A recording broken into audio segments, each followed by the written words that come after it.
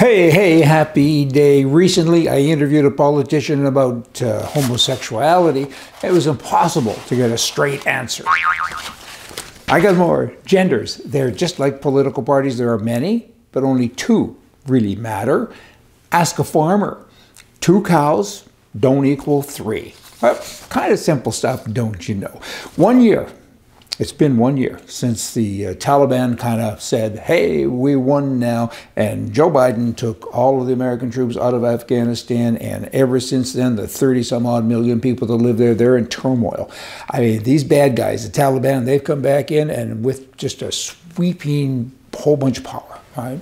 Bad wordage, but you get it. They said, hey, all you women, you're not allowed to go to school anymore, and you can't leave home unless you got somebody with you who's a man. You got to cover yourself up so nobody can see you, and you can no longer work. And that's kind of troublesome, you know, because they've been at war for almost four decades, right? That's a long time, and there's a lot of homes, a lot of households that uh, are led by a widow. She's the bread earner, maker too, I guess, and now she's not allowed to go out and actually make money. What's up with that? I mean, so she's stuck at home, and what does she do? I mean, wow. This goes on and on. Is it all because of Joe Biden? Certainly a lot of it, because now the Taliban, they're stronger than ever. They got all kinds of gunnery and ammunition and so on because the U.S. government left it behind because they fled. And they did it quickly with Biden's thing going on is not very nice. Pakistan government now they're threatening to say, "Hey guys, we're going to take your digital ID and we're going to block it, and then you won't have access to your bank accounts, and then you'll listen to us. How dare you not listen to us in the second place? Hey, what about the first place? That'd be Canada." The prime mistake there is saying these digital IDs, this is a neat idea. We can control our people even more because it's another step into where I want to go with a big step. So he's talking about doing it, and you got Pakistan that's already showing people, the world, what they do, what government does with that overreach, with all that power. And now you have the Canadian government, U.S. Don't go invade other countries. Don't go back to Afghanistan. Invade Canada. For heaven's sakes, don't you see what's going on there with the people? The humanoids are getting pounded every day. You have this I don't. I can't even call them socialist anymore or communist. I don't know what it is. Well, pick a word, but they're they're just they're smothering their people. They're smothering their own people. They hate their own people, and they're doing everything they can to take power away from them every day. And this digital ID thing is just another step in that direction. It's bad, just bad. Donald Trump his suits that he wears, and it ain't the suit I'm wearing, let me tell you, but his suits, I just found out, and I thought it was kind of interesting, they cost $45,000. Who would have thunk? That's okay. He's got the money. He made the money. Go spend it. You help the economy. How many people had to work to produce that suit? Probably many. They only make a 100 of them a year kind of like a Porsche car or something. But anyway, 45 grand. I got his red tie, and that didn't cost me very much. Hey, just saying, government bureaucrats this is Canada. They do take you to the cleaners. That kind of goes with the suit. Ho, ho.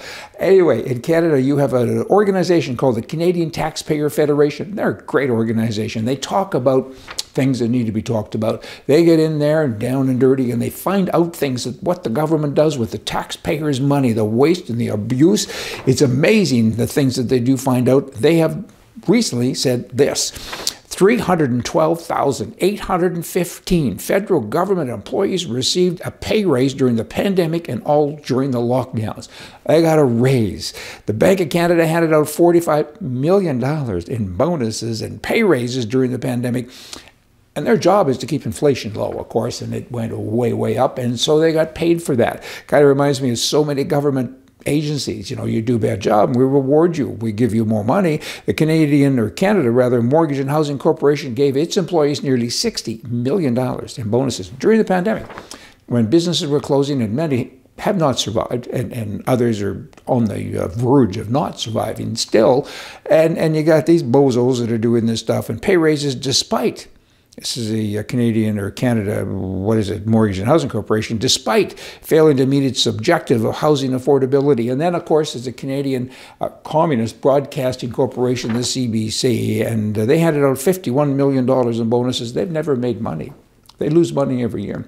And during the pandemic, they said, hey, you guys, we're doing a great job. We're losing more than ever. So they handed out $51 million in bonuses. Do you think that's fair? It's not fair. It, it's unfair. So what else isn't fair is, is that we have all of these people leading us in different countries wow, it's uh, like Bozo. I mean, it's a circus, and we have all the clowns in charge. We got to get rid of the clowns. It ain't funny anymore. Uh, the only joke that I know about, that's a good joke, I guess, or a bad joke, is politicians that run these countries that are trying to run us into the ground. Hey, y'all, come back. That's my whining for the day. How do we fix it? Don't just complain. Let's have a fix. Get rid of all these people. Shut the circus down. Hey, we used to like circuses. We don't anymore. Get rid of these guys. See ya. Come back. We'll have more for you from the right in a couple of days.